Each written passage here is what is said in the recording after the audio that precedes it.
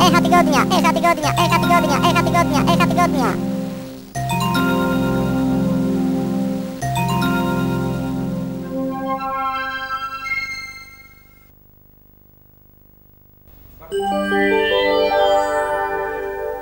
Echo Tygodnia, witamy Państwa bardzo serdecznie. Na początku proponujemy przenieść się do klubu PTC przy ulicy Gdańskiej.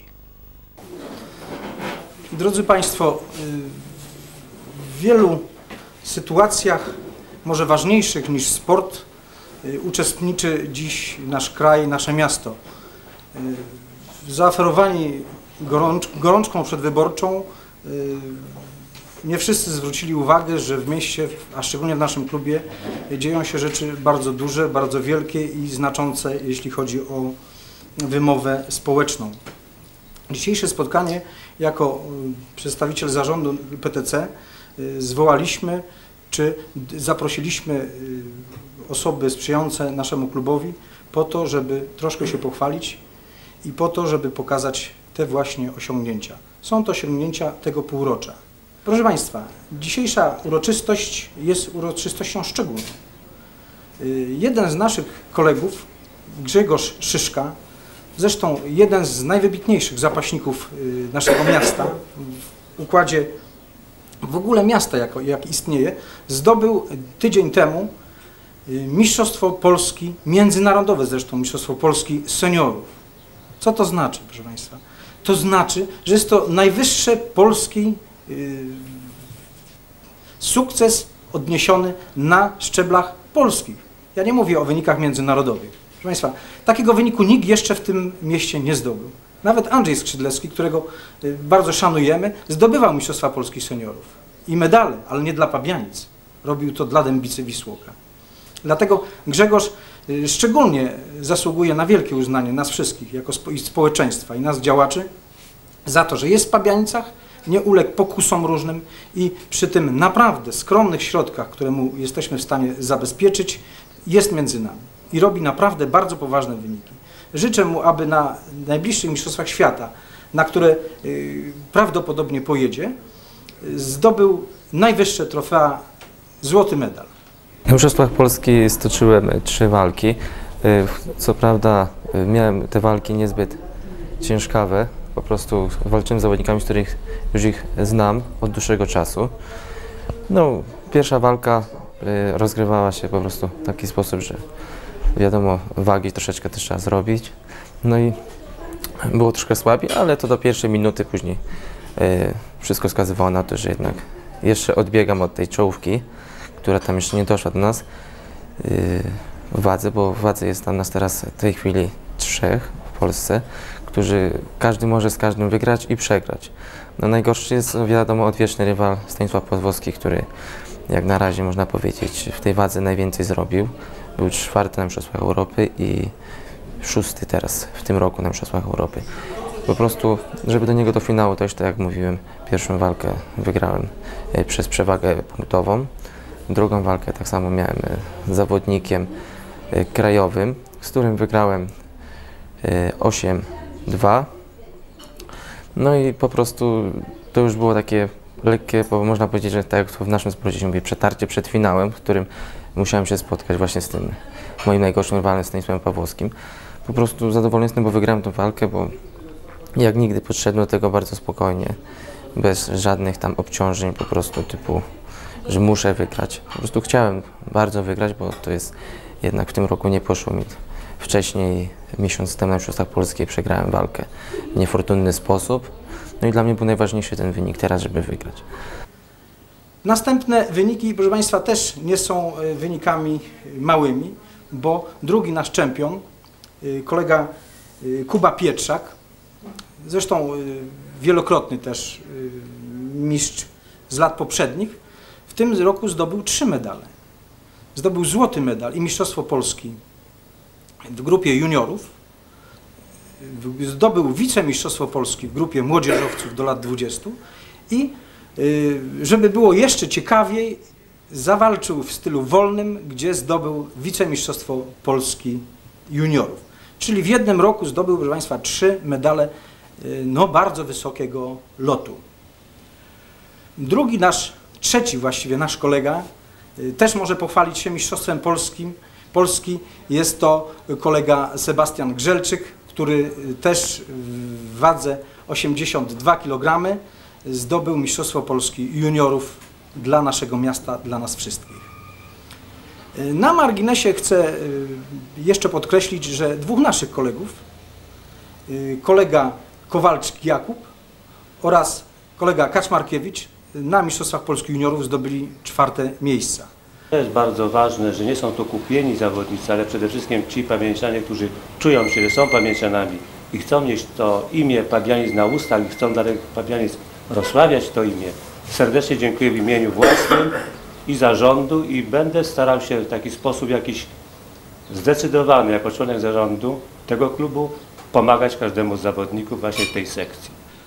Państwa, y, jest to, są to wyniki naprawdę duże. My nie mamy świadomości niekiedy mm, mówiąc, bo zapaśnicy nas troszkę przy, y, jakoś przygotowali do tego, że wynik poza medal Mistrzostw Polski nie jest wynikiem.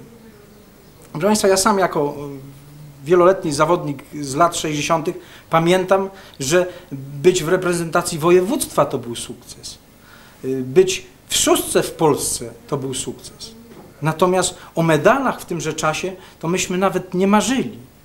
Dziś te medale y, jak z wora obfitości są tutaj zdobywane przez naszych zawodników. Y, Wielki udział i zasługi w tym są naszych trenerów i działaczy sekcji zapaśniczej. Począwszy od kolegi Kłębowskiego, który jest y, trenerem, który jest kierownikiem sekcji, poprzez trenerów Waldemara Sawosza, Pawła Tryme- Trymera, kolegę Feliksińskiego, który jest członkiem zarządu, a zarazem także trenerem. Dziś możemy mówić o takich sukcesach.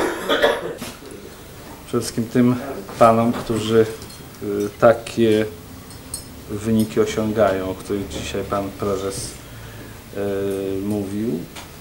Y, Wyniki, które rozsławiają Pabianice, które mówią, że jest takie miasto na kuli ziemskiej, y, które ma sport i miasto, które ma y, duży przemysł.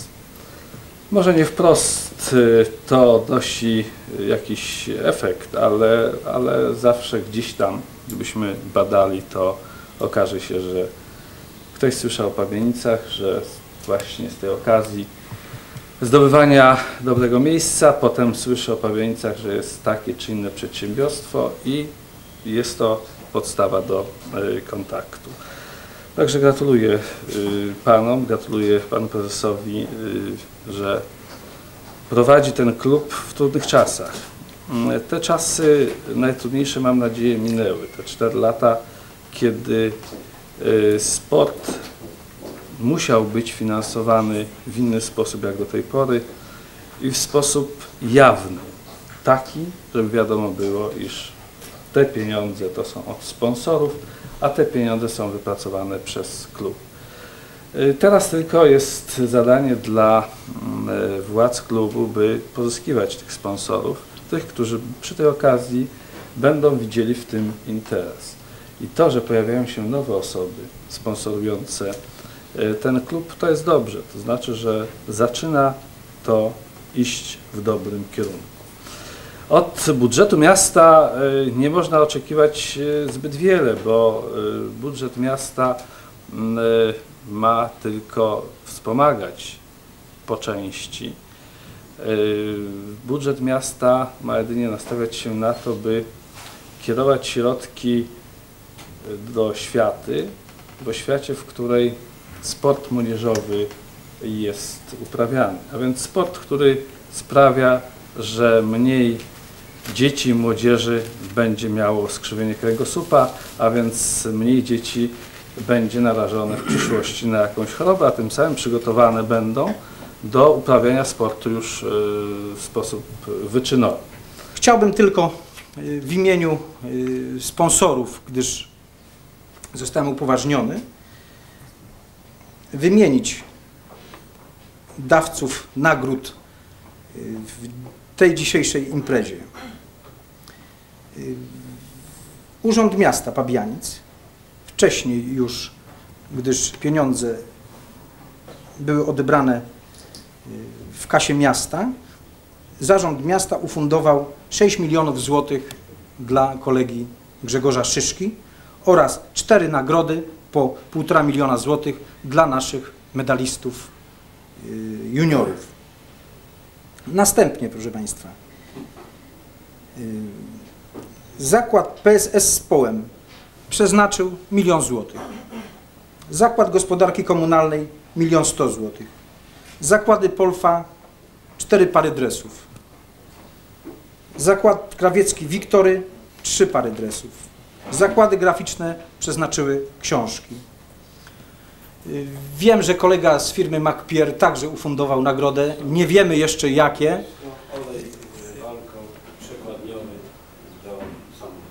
Teraz y, czekam na decyzje trenerów, jakie podejmą w stosunku do mnie i Pawłowskiego na Mistrzostwa Świata, w których naprawdę bym chciał wystartować i jak najlepsze miejsce zająć.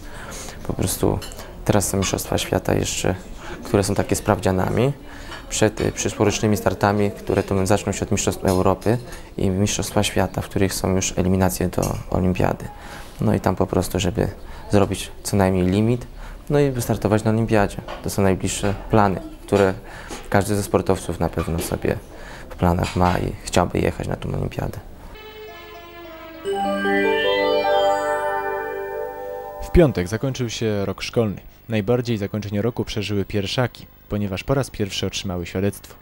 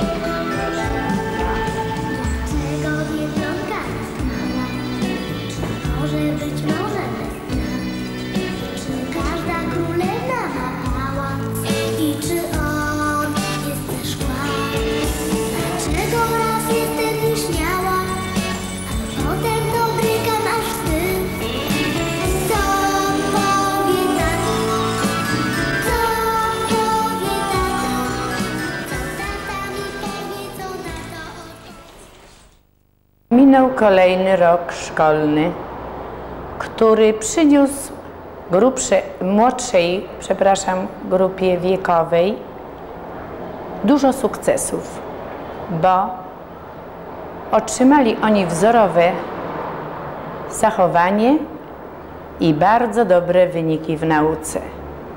Dość duża grupa dzieci brała udział w miejskich eliminacjach świerszczykowych wierszyków. Dwoje dzieci zakwalifikowało się do wojewódzkich. Jedno z nich otrzymało drugie miejsce. Jest to wysokie wyróżnienie.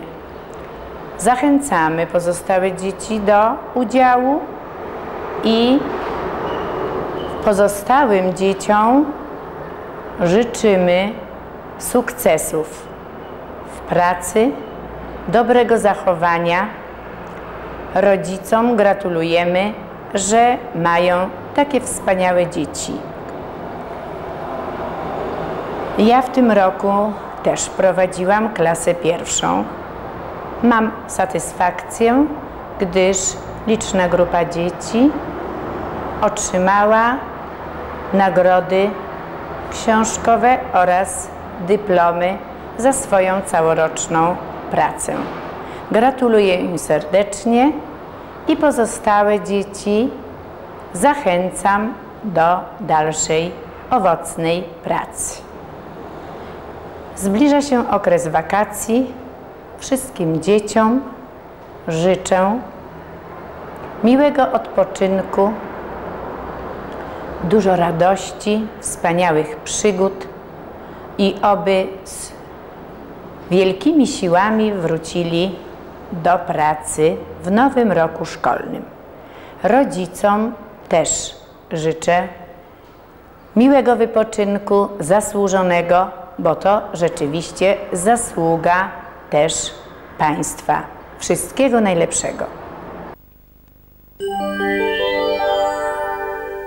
Piątek w Spółdzielczym Domu Kultury przy ulicy Orlej 45 odbyło się walne zgromadzenie delegatów Pawieńskiej Spółdzielni Mieszkaniowej. Pozwólcie Państwo na odczytanie tego listu. Szanowni delegaci Pawienickiej Spółdzielni Mieszkaniowej na zebranie przedstawicieli w dniu 24 czerwca 1994 roku. Pragnę poinformować o otrzymaniu w dniu 23 czerwca 1994 roku nagłego polecenia służbowego od wojewody łódzkiego zobowiązującego mnie do udziału w jego imieniu na Krajowej Naradzie zorganizowanej przez Ministra Transportu i Gospodarki Morskiej w Gdańsku, w Gdańsku w dniu 24 czerwca 1994 roku. Przepraszam za moją nieobecność na zebraniu przedstawicieli, a Radę Nadzorczą proszę o przedstawienie sprawozdania również w moim imieniu. Życzę owocnych i spokojnych obrad z poważaniem Andrzej Cymerman. Jednym z punktów obrad był wybór nowej Rady Nadzorczej Pawieńskiej Spółdzielni Mieszkaniowej. Protokół Komisji Mandatowo-Skrutacyjnej Proszę Państwa, Rady prosimy o ciszę. Komisja mandatowo-skrutacyjna wybrania na zebraniu przedstawicieli Pawienickiej Spółdzielni Mieszkaniowej w dniu 24 czerwca 1994 roku ukonstytuowała się w składzie. Jadwiszczak Czesław Przewodniczący, Śpionek Barbara Sekretarz, Szumocka Halina Członek, Kuźnik Barbara Agata Członek, Domalarzek Danuta, Malążek Danuta Członek, Grabasz Jan Członek i Krzeszowski Stanisław Członek. Komisja podjęła działania w oparciu o regulamin przedstawicieli członków Pa- Pawienickiej Spółdzielni Mieszkaniowej. Komisja stwierdziła, że na, że na mm, 127 przedstawicieli członków Pawienickiej Spółdzielni Mieszkaniowej zaproszonych na zebranie w chwili przystąpienia do głosowania obecnych jest 104 przedstawicieli uprawnionych do głosowania. W wyniku głosowania oddano głosów 104, z tego głosów ważnych 103, jeden głos nieważny. Po obliczeniu głosów stwierdzono następującą kolejność kandydatów do Rady Nadzorczej. Dzikowska Grażyna 89 głosów, Majewski Wojciech 84 głosy, Maurer Jolanta 83 głosy, Wincek Agnieszka 83 głosy, Ryba Adam 82 głosy, Piechocki Andrzej 81 głosów, Lachowska Lucyna 80 głosów, Konieczna Janina 79 głosów, Wiśniewski Jerzy 78 głosów, Lankiewicz Danuta 78 głosów, Borczyk Marian 71 głosów, Senderecki Paweł 66 głosów, Dąbrowski Władysław 66 głosów, Zięba Tadeusz 62 głosy, Kowalczyk Urszula 58 głosów, Szubert Stanisław 58 głosów, Niedzielski Krzysztof 53 głosy, Smagalski Zdzisław 8, 50 głosów, Szczepaniec Jan 49 głosów, Piekarek Ewa 39 głosów, Ciesielski Jan 29 głosów, Kowalski Wiesław 29 głosów, Gebler Ryszard 28 głosów, Wojewnik Jerzy 27 głosów, Nowak Wacław 25 głosów, Gębarowski Marek 23 głosy, Cieślak Mieczysław 22 głosy, Perzyna Mieczysław 21 głosów. Na podstawie powyższych wyników głosowania w wyborach do Rady Nadzorczej Spółdzielni na okres czteroletniej kadencji zostali wybrani Dzikowska Grażyna, Majewski Wojciech, Maurer Jolanta, Wincek Agnieszka, Ryba Adam, Piechocki Andrzej, Lachowska Lucyna, Konieczna Janina, Wiśniewski Jerzy, Lankiewicz Danuta, Borczyk Marian, Sendecki Paweł, Senderecki, przepraszam, Senderecki Paweł, Dąbrowski Władysław, Zięba Tadeusz, Kowalczyk Urszula, Szubert Stanisław, Niedzielski Krzysztof i Smagalski Zdzisław. Na tym protokół zakończono i podpisano. Przewodniczący i członkowie. Dziękuję. Tak wygląda, przedstawia się 18-osobowa Rada Nadzorcza wybrana na dzisiejszym zebraniu. Dziękuję. Dziękuję. Zebranie delegatów zakończyło się o godzinie 5 rano. Delegaci nie rozpatrzyli całego porządku obrad. Te punkty, które nie były rozpatrzone, przeniesiono na walne zgromadzenie, które odbędzie się we wrześniu. A my informujemy Państwa, że w programie telewizji kablowej TOP już od jutra zebranie przedstawicieli PSM przedstawimy w całości. Dziś w Jachach Tygodniach to wszystko. Zapraszamy za tydzień o godzinie 18.30.